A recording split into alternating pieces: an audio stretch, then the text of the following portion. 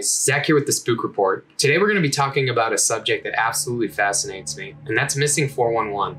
All across our country, people are disappearing in our national parks, our state parks, as well as wild refuges all across the country. Now, this has expanded over the years into Canada, South America, and places all over the world. But in this video, we're going to kind of hone in on North America and America in particular. So, Missing 411 was started by one homicide detective who is now retired, David Paulides, who began investigating and researching disappearances and missing person cases in our national parks and our state parks. He came to the conclusion that not only were these not logical disappearances, they did not meet any conventional standard in which a missing person case would play out he began to notice very strange similarities in between these missing person cases that almost seemed to connect them. When he began to dig deeper and he reached out to the national parks, state parks, he began to notice an unusual trend amongst the park rangers and investigators.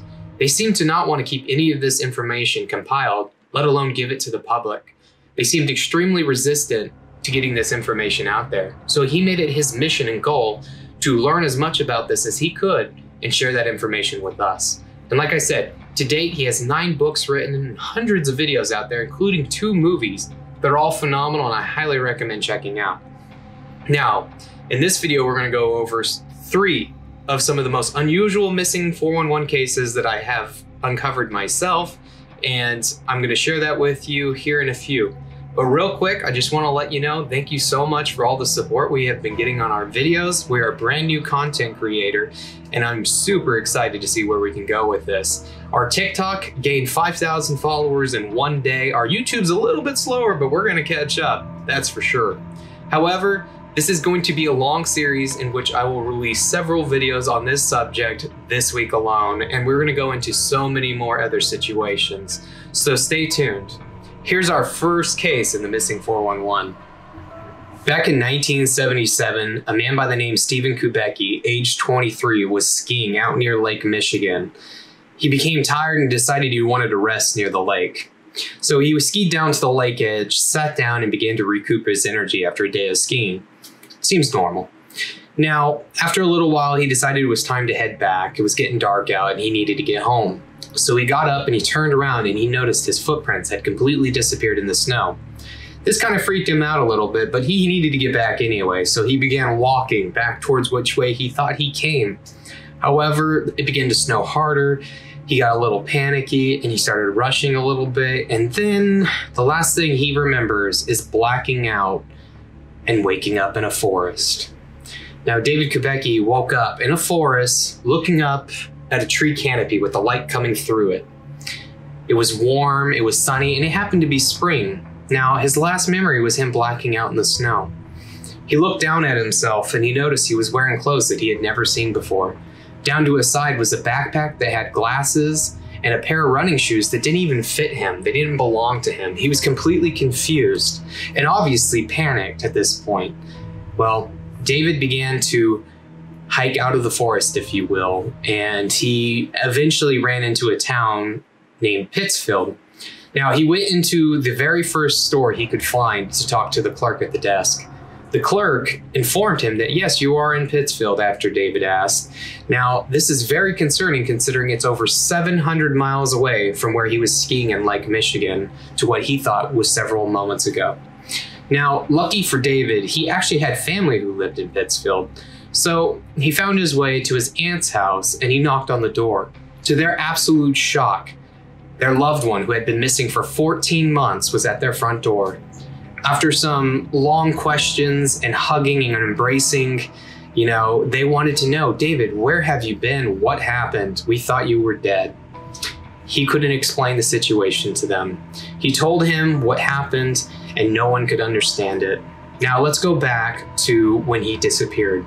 When David hadn't returned home that day from Lake Michigan skiing, um, a search and rescue team was put together and sent out.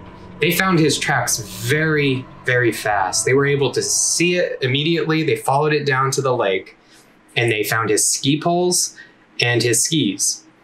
Now, there were no footsteps leaving his spot. He was absolutely one way in and they stopped at the lake. Now, the searchers at the time determined that Since there was no tracks, he must have gone into the lake and drowned. It had been presumed for over 14 months that David had died. Now, this is where it gets really strange to me. In David's own story, he says that when he turned around when he was resting, his footprints were gone in the snow, and he began to panic and he ran out.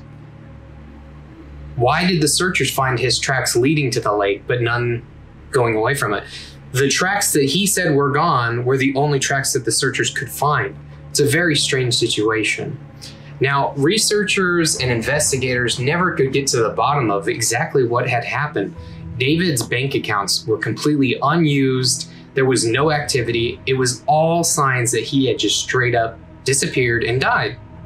Now, David himself was so concerned and confused about this. A young man who already had a degree in a different career field decided he was going to go back to school and get a degree in psychology just to better understand his situation.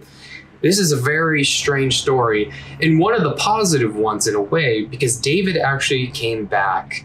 And a lot of the missing 411 cases, these people are A, never found again, or B, found dead. So it is a very strange case, and we just don't know what happened to David that day. But he disappeared for 14 months and he has no knowledge of what happened. So, now we go on to our second missing 411 case of the day. Back in 1981, a man by the name Maurice Dametz disappeared in the National Pike Forest in Colorado. Now, Maurice was an 81 year old man who was absolutely in love with hunting topaz, a rare rock mineral. I'll include a picture here. Now, Maurice happens to also be a theology major, and he actually published several books. And he had this belief that one day, you know, the Antichrist would take control and the world would end. Now, besides that, let's get into the story of how he disappeared strangely. Now, David, being an 81 year old man, had incredibly poor mobility. His legs just did not work, his knees were out. So he used to go topaz hunting with his best friend, a younger man by the name David. Now, David and Maurice both went to the National Pike Forest in Colorado to go topaz hunting. That involved them driving down the freeway and then turning off on a dirt road that went for 16 miles into the wilderness. The location that they would go to to hunt topaz was well known in the area, and it goes by the name Devil's Head. Not only did the Native Americans that traditionally lived in that area say it's an extremely haunted area and they avoided it, but also early settlers gave it the name Devil's Head because very strange disappearances occurred in that area and they associated it with evil. Now, David went off about 150 meters away to go to his own little digging area and Maurice had his own little area and he was digging. And David walked over to him to see how he was doing, you know, wanted to see if he needed any help. And Maurice said, Oh, we can head out in about 10 minutes. I'm almost done here. So David walked back to his site 150 meters away to begin cleaning up his tools and getting ready to leave. Now, Maurice needed help to get down to the site and leave the site because his knees were so bad, and that's where David helped him out. Well, when David returned to Maurice's digging site, just 150 meters away, Maurice was gone. His tools were still there, everything was still there, and there was no sign of where Maurice had gone. And keep in mind, he's a disabled 81 year old man who has very limited mobility. He needed David to get in and out of there. It just wasn't explainable. So after looking around for a little bit, David decided he needed to get back to the car and he needed to get help. But first he went back to the car and began honking the horn and gave it one last attempt to call Maurice's name out. Now, this would end in a five day search in which hundreds of searchers would come in to try to help and find Maurice.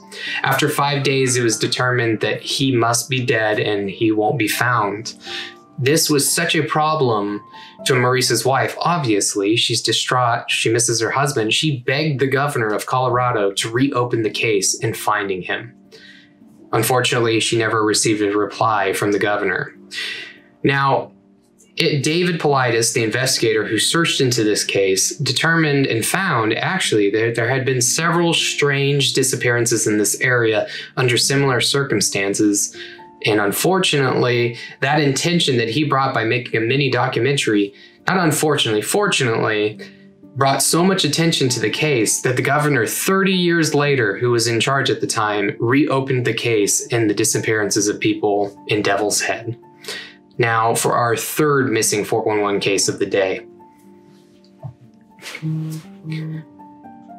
Back in 2014, a man by the name James McCorgan, a medical doctor, went on a trip with his friends split snowboarding. For those of you who don't know what split snowboarding is, it's like a mixture of cross country skiing and snowshoeing. They would switch between the two to get pretty far out there in the wilderness and follow trails that were snowed in. Now, James and his friends had been on this journey before. This was not the first time for them. They were experienced in this, and it's something that they did for fun. And James was not only a medical doctor, but he was a skilled adventurer and he came prepared. He had his cell phone and he had a satellite GPS device that would allow him to find his way and make it wherever he needed to. Now, James and his friends were out doing their split snowboarding when he was always a little bit faster than his friends, would go up ahead and wait for them. And in one situation, he said, Hey guys, I'm going to plow through this. I'll wait for you at the next stop point and, you know, we'll go from there.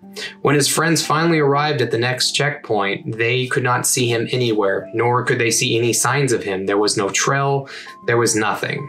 So after waiting a while and then deciding to go ahead and try to catch up to see maybe if he would be at the next one, they never found him. At this point, they became concerned and they went back and they got help. Now, James would not be found for five days, and it wouldn't be by the searchers or his friends. It would be by two random hikers that were 4.5 miles away by the crow flies, which means probably about a 14 mile hike if you were to do it on foot. He was at the bottom of a waterfall with his skull crushed. He was still wearing all of his gear as well as his ski helmet, but he wasn't wearing any boots. It was almost like he fell out of the sky and landed on his head. There was no explanation for how he got there or why. He still had his uh, GPS satellite on him and he had his cell phone. He had everything on him to survive, yet his boots were gone and his gloves were moved. There was no signs of a trail of him getting there. They found nothing. It was truly almost as if he was picked up and dropped. Um, to this date, there has never been any sign of or evidence of what caused his death. Uh, they just have closed the case as he was found dead. This is one of many very interesting missing 411 cases that I'll be going over in future videos. Today I was going to stick to three and give it a test run. And if you enjoy this content, please like, subscribe, and drop a comment in the section below to let us know how we can keep improving this. This is still a very new uh, content page for me, and I'm really looking forward to seeing what we can get done on it. Now, I hope you have enjoyed this. Again, thank you so much for your support. If you enjoy this type of content, go ahead and follow, as well as check out our TikTok where we post all kinds of stuff cheesy ghost videos, UFOs, everything. I mean, we only have 60 seconds on there to do things, so pretty much wild, wild west. Anyway, thank you so much. You guys have a great day. Thanks for watching the Spook Report. I'm Zach.